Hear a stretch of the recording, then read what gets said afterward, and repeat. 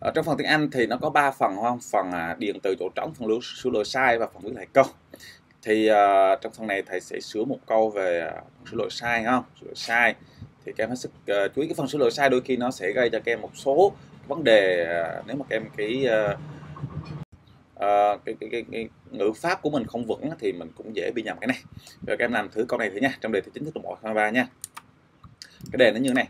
Đấy, thì người ta cho một cái câu uh, dâu uh, students ID cards were not shown as request so their exams uh, results must removed. Đó were removed. Thì ở đây người ta cho bốn cái lỗi sai ở chỗ là students shows their were removed. Thì mình phân tích thử cái nào đúng cái nào sai ha.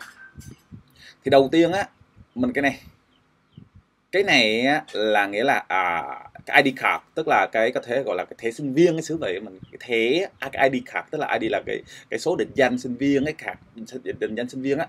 Nhưng mà đây là sinh viên là sinh viên là số nhiều nha.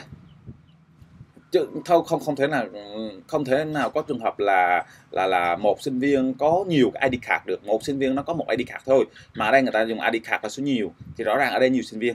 Nghĩa là cái student này nó phải dạng số nhiều đúng không?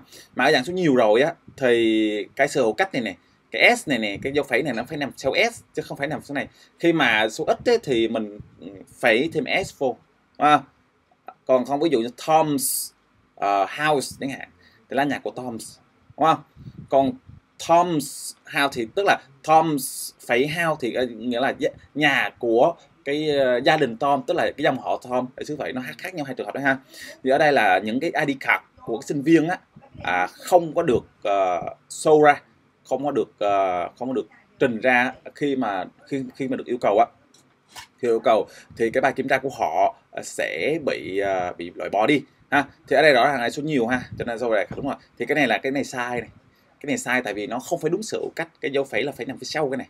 À, tại vì ừ, student số nhiều thì cái dấu phẩy nằm phía sau thôi chứ không cần phải không không phải như này nha có như thế này. Cái này hiểu là à, một sinh viên này này họ ông có nhiều nhiều cái ID card là không đúng ha.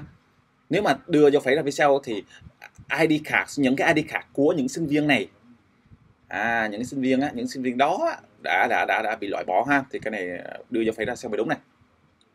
Vì vậy uh, cái cái DSM tức là bài của kiểm tra câu hỏi đúng rồi ha. Tức là bài kiểm tra của những cái sinh viên này này sẽ bị loại bỏ cái này bị bị động bị động. Tại vì nhiều bài uh, À, kiểm tra uh, exam results nhé exam results results số nhiều này. Cái word này là do do là exam results được không?